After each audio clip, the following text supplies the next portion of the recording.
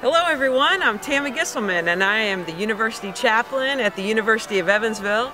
I know you are participating in your SOAR weekend. Sadly, I'm not there because I'm teaching a summer course at Harlaxton College in Grantham, England.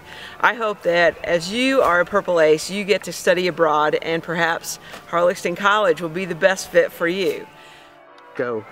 In this course, we learn about Flying buttresses. Vaulted ceilings. Stained glass windows. There are dragons over there. what about the pipe organ?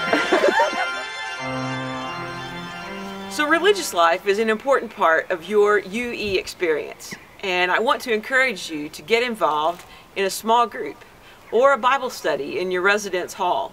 Perhaps you'd like to attend university worship on Sunday mornings at 1030 we have students who help lead university worship through music, uh, readers, ushers, student chaplains, and internships if you're interested in a vocation of ministry.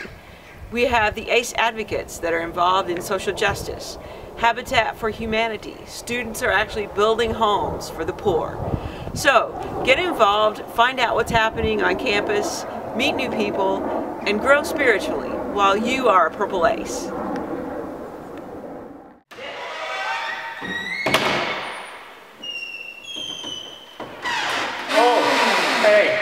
I'm Nick Joyner. Here at Harlaxton, I found a lot of secret passages in the building and in my soul. Is that a dragon?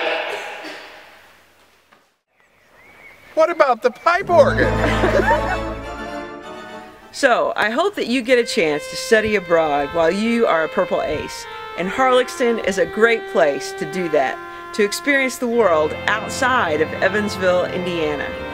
This summer we are studying theology and church architecture and have visited cathedrals and churches and even plain and simple meeting houses trying to understand how God speaks through architecture.